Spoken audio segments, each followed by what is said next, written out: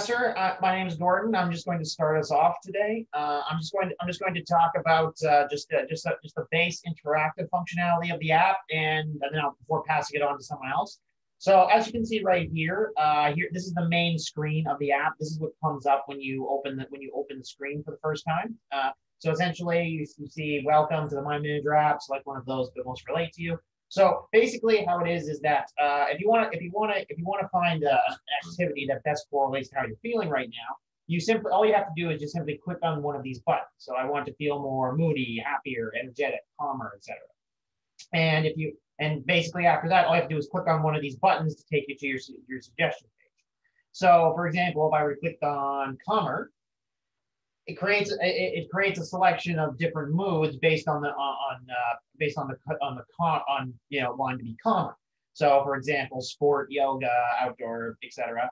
And uh, also in, in, on this page, there's some functionality as well. For example, there's a refresh button that gives you new selections if you don't like what you get.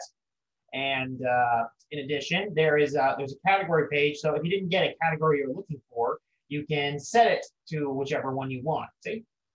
And and also these are also set, so they'll only be for the for the calmer uh, selection. So now, if I were to go now, if I go back just to show some more functionality, um, assuming let's assume that if, if uh, you you wait you, you want to do something but you don't know how you feel. Like for instance, maybe these uh, these are putting you these are boxing you into into into a description that doesn't really apply to you. Maybe you're happier, but maybe you're also moody, but also maybe also kind of energetic at the same time. So you can't click on all three of them at the same time.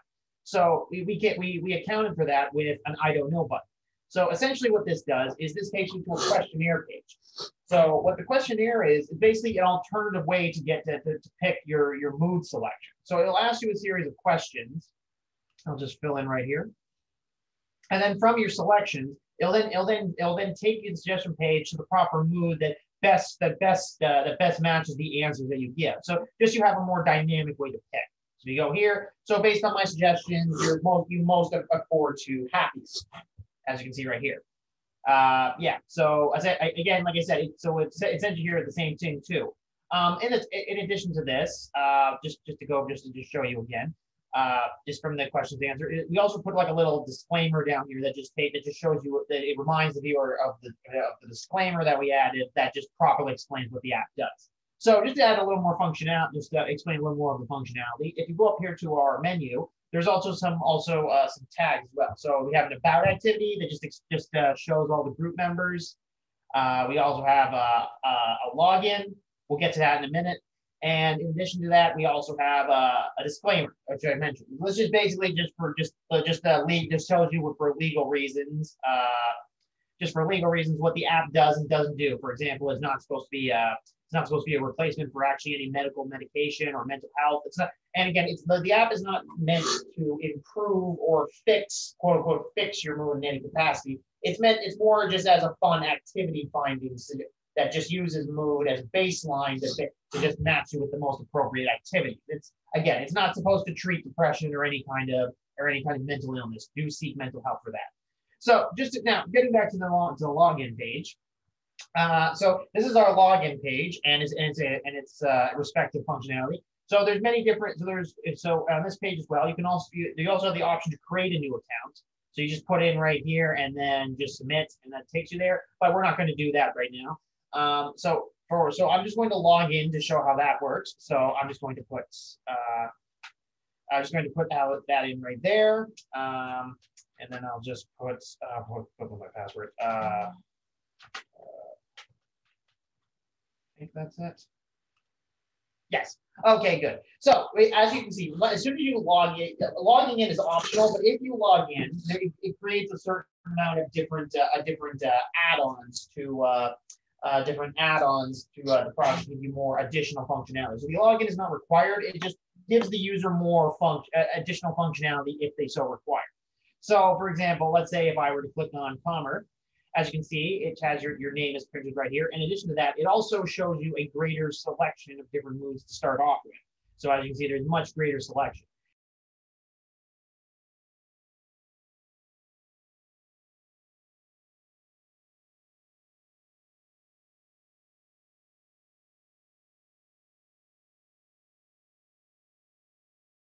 In addition to that, uh, the, the user the user profile was also supposed to uh, create a cert uh, a greater amount of uh, like for instance saving settings, but uh, that functionality will be added in the future. In that, so basically the idea would be is that if you create a user profile, you can actually save selections. So for instance, if you don't care about sports or if you don't care about outdoors, you can you can set it so that only movies ever show up. So you can you can make you can you can cut away a lot of the chat.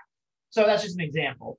Um, so beyond that, um, now now the, the, now we, we need to go into just what the individual uh, selections are. So I'll I'll pass it off to the next person.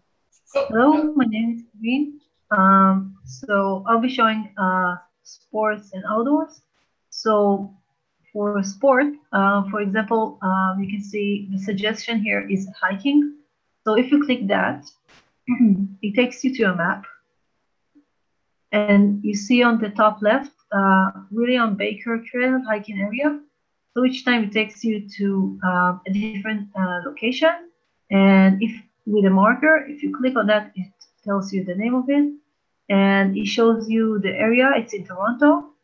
Um, and you also have uh, uh, buttons on the right side, uh, on the right side at the bottom like it takes you outside the map. It's okay, don't click it. It takes you outside of uh, of the app to directions. Um, so this is for the sport. And if you go back, please.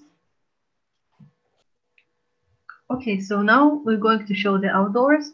So it says go ride a bike. And if you click on it, it's gonna open a map. Um, and also you can see the name of the park, the, the trail, bike trail, it's suggesting it's Sunnyside Bike Park. And it's also here around Toronto. Um, and if you go back and you can refresh, it will give you um, a different, um, yeah, a different uh, location with uh, different uh, activities. And so here it um, gave uh, Grandier In High Park Zoo. No, not High in High Park, not the zoo. And um, um, it's saved in the database, but it's uh, basically hard coded, but it saves all the locations in the database. And that's it. Thank you. So for the next one, um, I'm just I'm just going to just briefly go over the third one in the thing, reading. Uh, so for reading, basically, uh, the idea about it is okay. So you so again, it's it's matched to the mood selected, and so this one, the book that we got here is How to Love, and also as you can see, you can get new ones based for, by refreshing. So by clicking on it, so first thing you just get you just get a brief just some brief information. So collected books by it's published by Faber and Faber, has 352 pages, and was published on this date. And if you click on it further, uh, you get more information in regards to it. Um, but this just just in case you need more of a cell. So this just gets more information. So as you can see here, uh, you have all the information beforehand, uh, but it also gives you uh, just a, just a brief synopsis of the movie itself. And if you need more information still, you can also go to the preview, which will take you to uh, Google Books, which will which will then just give which you can then read like just a brief synopsis, uh, like a brief reading of the book to get it. So this um, for this, uh, especially compared to some other ones, we did quite a bit of information added to it because, uh, well, for example, one of the big things you'll see in a minute is books don't really have like you know a commercial or a trailer. So there's not really we can't really show someone a commercial for a book. They don't really advertise it. So we have to give so we have to give the we have to give the reader as much information as they can so they can decide if they want to read it because books are a big commitment in terms of, in terms of like activities. Um, okay, so just moving on. Hello, my name is Marina Savochkina and I will be, will be talking about music and movies. So we have uh, music and movies inserted in our application. If the user clicks on music, it will take him to the page with a video so he can view a video of the music uh, that he already saw on the previous page.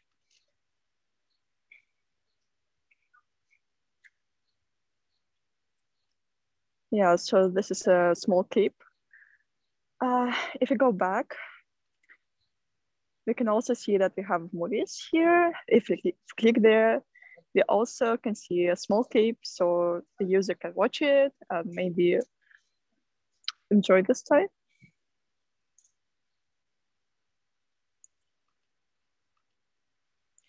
Yeah, so that's it for music and movies.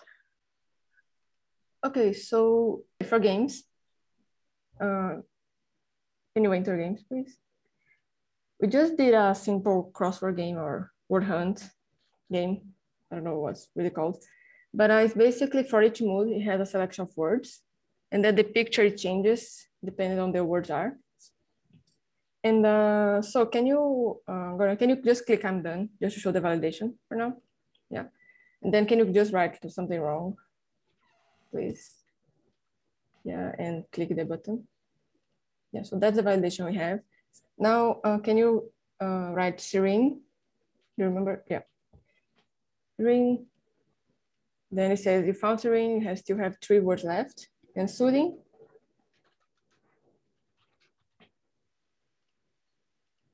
Yeah, uh, tranquil. And Pacific.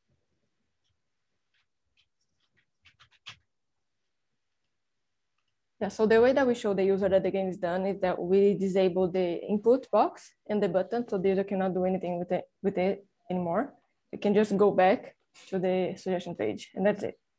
We just have one game because of we didn't want to put like uh, games on the internet because that would be, let's say, uh, what's the word, risky to the user user's phone, maybe because of a virus and stuff like that. So we decided to create our own game, but because of time, we didn't have time to create another one.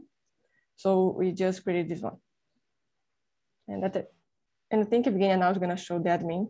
Uh, hi, uh, this is Evgeniya. I will show admin pages. Um, for going to admin pages, we have to put username and password on login page. Um, so I put in my password and login.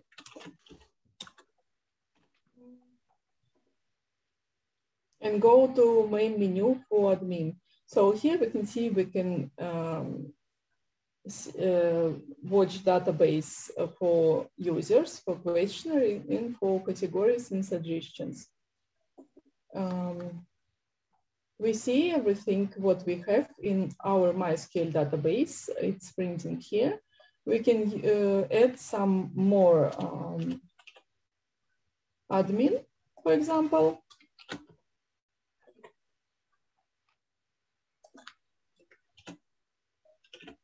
So I'm adding new user and it's appearing here.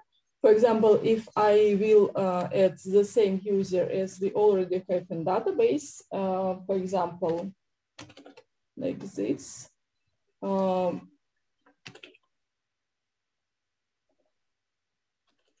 we can see that uh, this username is already exists. So if I would like to uh, put something, for example, like here, um, the, uh, then um, program understands that um, we adding not admin, we adding user. And also we can uh, delete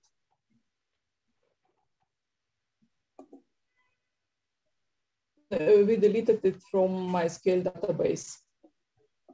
Uh, here we have questionnaire and uh, all the same, uh, we can add, uh, edit or delete uh, all stuff what we have here.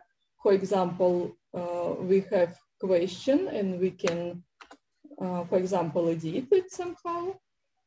For example, I deleted last question mark, or I can do this. And this is our last question it's uh, changed, right? So I will uh, come back with uh, how it was before because it's a uh, question working in our program. So I will change. It will change it uh, on our uh, questionnaire page. Mm, so it's became uh, how it was. Uh, mm, so if I would like to add new question, I have to uh, fill up all these um, fields. For example, if I uh, field only here. Uh, it will let you know that all fields are required. So I have to fill answers and uh, rating for questionnaire. Um, and also we have delete button. Um, I will not uh, delete uh, because it's actual questions what we use for our program. So I will not delete because it will be quite difficult to restore. But if, for example, we create something what we don't need, we can delete it. it everything is working here. Uh, so for categories, we can uh, manage uh, all categories and uh, all um, suggestions for each mood. So for example, for movie, we go here and we see uh, happier movie, energetic and everything. We can go, for example, for happier movie and uh, we can um, edit information, for example, like this. And uh, edit back because it's actual uh, database for our application. So we better don't delete what we have in database. And for example, if we put something new, um, it appears here and uh, we can delete it.